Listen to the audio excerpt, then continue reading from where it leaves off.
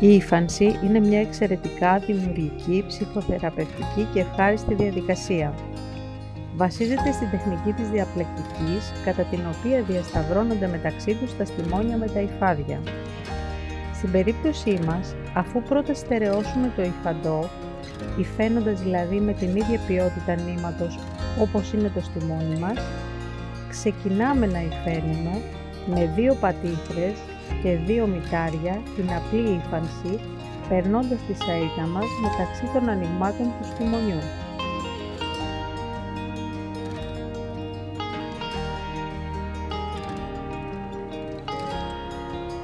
Το σχέδιο το κάνουμε με τη βοήθεια μικρής σαΐτας που φέρει διακοσμητικό νήμα.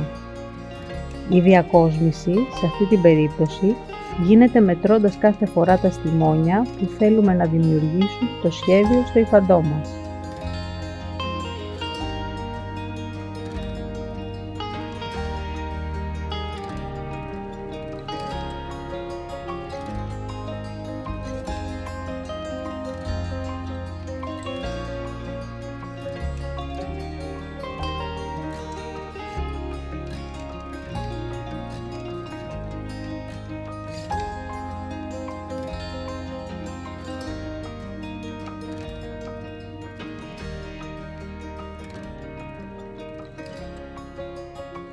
Μετά το τέλος του σχεδίου μας, υφαίνουμε και πάλι την απλή ύφανση.